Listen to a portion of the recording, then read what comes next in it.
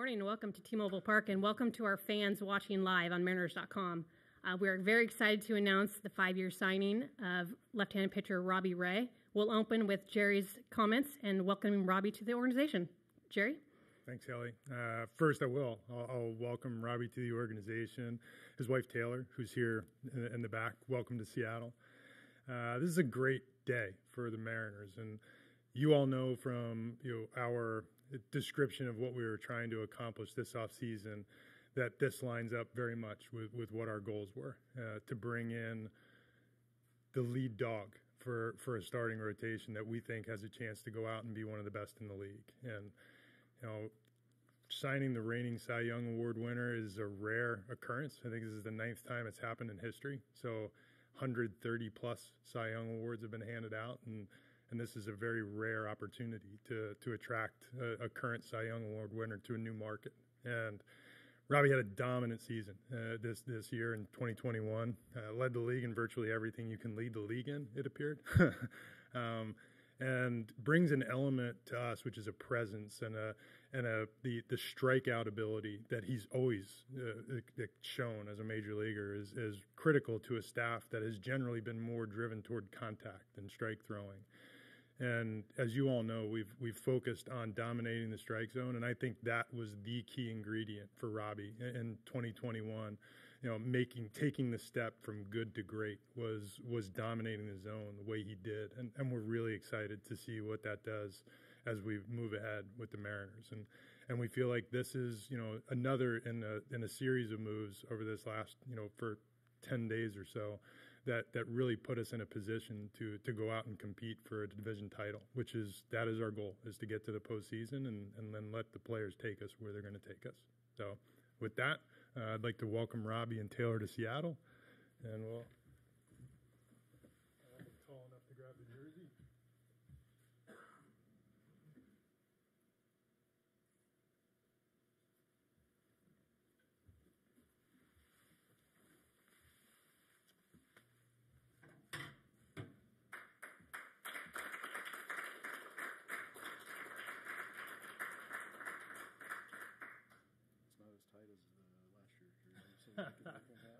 We'll work on it. We'll work on it. I want to turn around and give him a, a look at the back.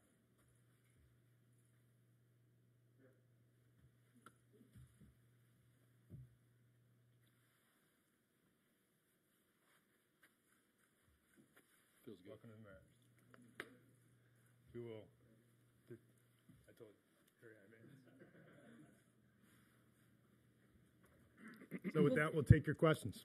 We do have a crowd mic, so if you raise your hand, um, we'll get Alex to bring you the mic. Alex, we'll start with Chris. Robbie, could you just talk about just just the pure excitement of coming to this organization, so much momentum after last season, and just uh, the thoughts of being on this Mariners team? Yeah, um, you know, seeing the last uh, series uh, that was played here, the fan the fan base, you know, showing up seeing the you know talking to Jerry and Justin and ownership and seeing the vision and, and the direction of this team and, and the way that it was headed, uh, man, I just I just wanted to be a part of it, and I could just tell the excitement uh, with this organization and with this city and.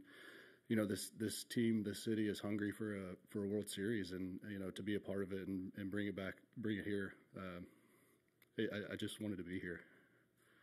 Robbie, congratulations. Uh, we've seen such a rush of transactions across the league the past couple days. You know, how did it, how did things kind of fall into place with you and uh, in the, the, negotiations here? Yeah, um, it, it, was kind of a whirlwind. Um, you know, we we got on a Zoom call, we talked, uh, had great conversation, uh, talked with you know Jerry and Justin and the front office, and, and um, spoke with the the pitching um, the pitching group here and you know, it just seemed like a really good fit, and we were ready to move forward. And um, yeah, I mean, it, it, it happened really quickly, but we're we're glad that it did. Uh, Robbie, what did you feel clicked this year that allowed you to just sort of move up to the next level? And is it something that you feel like you've got now and it, it's sustainable? Yeah, um, you know, I felt like I've always had the mindset of going out and attacking, uh, but it, it, didn't necessarily match up with with the delivery. And this year, I feel like I really nailed that down, and I feel I feel really good about the consistency of the delivery, and and that consistency uh, matched with that mindset. I feel like is is what allowed me to succeed this year. Robbie, was it a priority for you to try and get a deal done before? The pending lockout, or were you willing to wait and go into sort of a, a, the unknown of, of when the opportunity might present itself again? Yeah, um, you know, we were we were ready to wait if if need be, but you know, we were very excited about Seattle and and like I said, the the direction, the vision, and it was just a good fit, and and everything just lined up for us uh, to make it happen beforehand. Hi, Robbie. Uh, welcome to Seattle. As you talked about the changes you made last year, as you were going through your time in Arizona, probably certainly some frustration over the lack of command. do you ever reach kind of a boiling point with that, or how did you sort of keep your you know your head on your shoulders there as you're work, walking through that? Because obviously a lot of swing and miss stuff, but the element of command w- continued to be missing. And when that clicked, how good did that feel? Yeah, it felt great. Um, you know, like you said, I, have always had swing and miss stuff. I felt like, um, you know, I was one tweak away, and I felt like I was always, I felt like I was always making a tweak or or trying to, to change something up. And, and this past year, I, I feel like I found something that is just never going to change. And it's it feels right. It feels comfortable. It feels normal. Uh, and it's repeatable. I think that's the biggest thing is I was always looking for something that I could repeat, and and that felt natural to me. And um, you know, I found it, and I, I hit the ground running with it. Hey Robbie, uh, we heard that you had consulted a little bit with Mitch Haniger on, uh, you know, coming here. Can you kind of walk us through what that conversation was like, and uh, you know what he told you about Seattle? Yeah, um, t- I played with Mitch in Arizona, and you know I, I, love him as a as a person and as a player. He's a he's a gamer, and you know had a great year.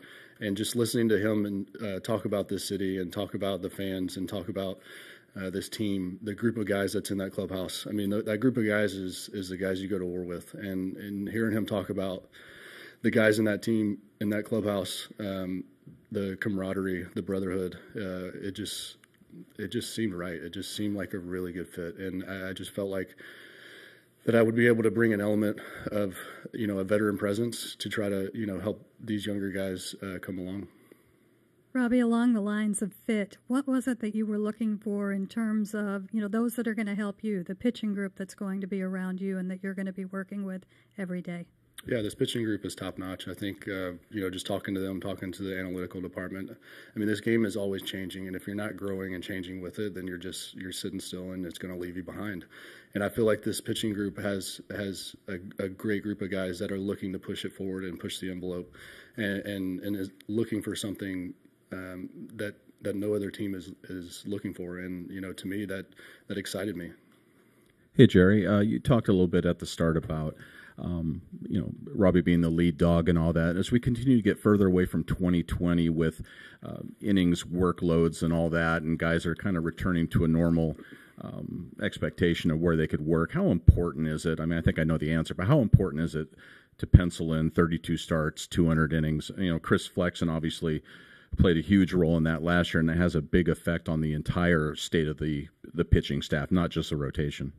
Well, we feel like with the the starters we have in place, Robbie and Marco, with Logan and Flex, like those are durable starting pitchers who have generally delivered innings. You know, with the exception of the first half this year with Marco, where he had a little bit of a hiccup there it's exciting for us to send a starting pitcher out there every day who has an opportunity to go deep into that game. And you know, Robbie has has established that as much as anybody in baseball in recent years. And I I think that's one of the main attractions for us is we want to be the team where when when other teams are coming to Seattle to play us, they look at the three pitchers or the four pitchers that are lined up for that series, and they, and they say, "Oh man, you know, we're we're, we're going to have some this series." And you know that I think is is one of the real benefits because we do believe in, in the pitching we're building, and obviously, you know Robbie's durability. And I I don't even know if I want to use a pencil. You know, it's a I, I'd rather use a pen, and that's that that's kind of what this was was about. Jerry, I think it was Saturday um, that you had said that there was a when the Adam Frazier trade. You had said that there was a couple of offers that you had out at the, at that point. Was was Robbie one of those? That that you had out? And and as he said, did this come together pretty swiftly? Uh, no, it was not one of those that we had out on Saturday, and you know, but it was one that we had out shortly after that. So, uh, no, we, we were thrilled, and it did move pretty quickly with Robbie, and and uh, we were still in discussions on Saturday, but there was no offer out. Jerry, a little uh, elaboration on that. What, what, was the how did the how did the initiative to seek Robbie come about, and what was the sequence of events that made it happen? Well, I mean, we went into the off season first, and we were pretty clear with this. We were focused on a series of things. One, we wanted to add to the top of our starting rotation. We would also like to add depth to our starting rotation. We wanted to add length to our lineup, and we wanted to find an impact bat or two that, that could really, you know, I guess, build something in the middle of the order, in the top half of the order that really drove our offense. So Robbie was on our, our list uh, of players that we were most interested in. And, you know, we started the offseason focused on, on the offensive players. And as we got uh, into Thanksgiving week, it became apparent to us that the pitching was moving pretty quickly. Uh, and at that point, we got in, in touch with Steve Veltman, who represents Robbie, you know, and, and, you know, Steve had expressed to us that Robbie had interest in Seattle and, and we reciprocated. We got together for, for some Zooms. I think a, a, series of Zooms with first with myself, Scott, Justin, and then with our pitching group and, and some of the coaching staff. And and from that point, it came together pretty quickly. I would say, you know, within 72 hours, we we we struck a deal, which was fantastic. Jerry, you mentioned on Saturday that you weren't looking at the CBA's expiration as a deadline for making transactions. But is it nice to have a little bit more roster clarity? Um, you know, given the, the action that you guys have had over the past couple days it's just nice to have Robbie Ray, you know, and you know, be honest with you, and, and you know, I'd say the same about Adam Frazier. It's uh, the the day of the on the calendar doesn't matter for us. It's we believe that the next five years are going to be uh, the for the Mariners what we've been building toward. That'll be the crescendo, and the fact that that Robbie's here for that is something we're all excited about. Robbie, obviously a big family man, wife and, and kids. When you mentioned them, we're, we're heading to Seattle. I, I imagine that was part of the discussion with your wife. Just talk about coming to Seattle and, and raising your family here.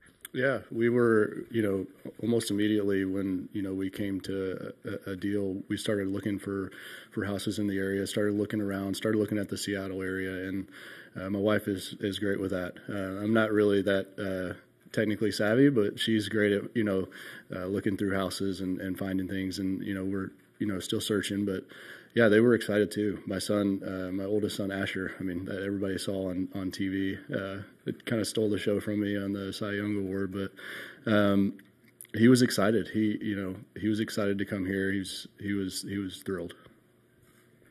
Robbie, obviously, so many of our questions here today have centered how this team was right on the doorstep of making the playoffs in 2021. What does it mean to you that your work, your improvement, especially this past year, made it so you're the guy that the Mariners see is putting them into the playoffs, making that next step?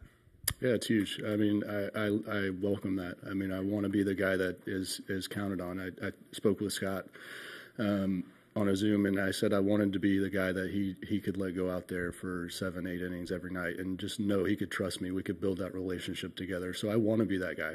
I, I want to be the guy that leads the league in, in innings every year. That's the guy that I feel like I am, and I feel like that this year, this past year, that I, I unlocked that, and so you know I I, I welcome that.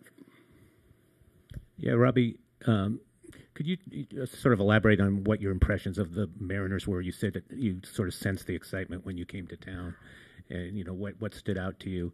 And when you were talking to, to Jerry, did he lay out of the vision of kind of where he wants to take this team and maybe some future additions that might happen? Yeah, I mean, I think you spoke on it. You know, they they wanted to add uh, top of the rotation starting pitcher. They want they wanted to add to this team, and and to me, you know, seeing the core of the groups uh, of the group here and and and the guys in that clubhouse, you know, just a couple additions away from really making a push for it, and seeing that they wanted to make those additions to me was, you know, it helped me along to make my my decision to come here. Jerry, um, in terms of uh, you don't have a crystal ball certainly, and um, you know, with the lockout potentially kind of clouds things. But what is a uh, a deal like this? Uh, what kind of signal can it potentially send to uh, you know other free agents that you know you got Robbie Ray uh, who just won a Cy Young award to come to Seattle? Is is there a hope or maybe a potential trickle down effect here um, in terms of how serious you guys are about augmenting this roster? Yeah, I, I, I, actually shared it with Taylor and Robbie upstairs. I, I think it, it it's on. You know, when when Robbie walks in the door, I think that is a statement that we are serious about the the want to go out and contend for for a championship. Uh, we've we've worked long and hard to develop this young core of players. We feel really good about the 2021 season and how much progress this group has made. And like we said at the outset of the offseason, now it's incumbent on us to, to add and to and to bring players to the Mariners that can push us over the top. And I, you know, Robbie, Adam Frazier are, are the first wave of that. We don't intend to stop. You know, we, we want to continue to add to this team. And and you know whether that whether that is today, tomorrow, or or a week from now, we want to continue to do that. And and you guys have been around you know me for long enough to know, and I know Justin's been around me for more than long enough to know. we'll keep pushing, and there's we we won't sleep until we figure out a way to to put the best you know 26 guys in that locker room, and and we feel like we're getting closer. Hey, Robbie, you mentioned a couple times you felt like this last year it really came together for you where you started to feel that consistency and everything. What was that process like for you where you felt like it started to click and betting that in and, and knowing that it was there for you on a consistent basis? And, and when did you feel like you really truly had it yeah, uh, for me, I, I, felt like I put in the work this off season with my workouts, and, and just really nailing down my my delivery. As, you know, I, I did a bunch of dry drills to just get that repetitiveness of getting that, getting that feel. It's almost like riding a bike. The more you do it, the better it's going to be. The more crisp it's going to be. And so, I mean, I really saw the the results of it uh, right out of spring training. I mean, I I mean, I, I, went into spring and my first bullpen session, I, I, I, laugh and joke about it, but it was like 96 to 97, down and away, up and in, everything. Like it just seemed like everything started to come together, and and, and I hit the ground running. And so for me, it, it happened from the very beginning. I, I started to see those those changes that I make come come to light and, and really work for me. Any additional questions? Uh, Robbie, you've been with several teams, several organizations now, and uh, you've had overcome injuries and other sorts of things. Where was the low point and try in in contrast to what you've experienced now with the Cy Young Award and uh, a major contract? How how big a leap has that been? Yeah, I mean, I feel like uh, 2020 was not a great year for me. I felt like those changes that I, I, talked about, I had tried to make over the years. I tried to shorten up my arm, and, and, it just happened that it didn't work out. But I wouldn't have known that it didn't work out if I hadn't have gone through it and tried it. And so in 2020, I tried to shorten my arm action. It just didn't work out for me. Um, going into that next off season, I knew I needed to make another change, and you know I was able to to get it together, and and that's what you saw. And Jerry, the obvious thing heading into tonight with the impending lockout, obviously, there's not much you can do once it starts. But from a mental standpoint, how do the Mariners try to weather that storm for however long it lasts? Uh, we're just going to continue to focus on how we can get better, and you know, it's a, that's that's been our goal throughout. And we can't focus on things that we can't control. You know, so we're we are going to focus on making the roster better, and you know, for the remainder of the day, for tomorrow, for next week, regardless of what's happening in the world around us, we're just going to continue to focus and stay disciplined. Thank you both, Jerry and Robbie. That will wrap up today's news conference. We'll have Robbie available at the far end for one on ones, and Jerry will be available at this end for one on ones. Thank you. biggie biggie bump,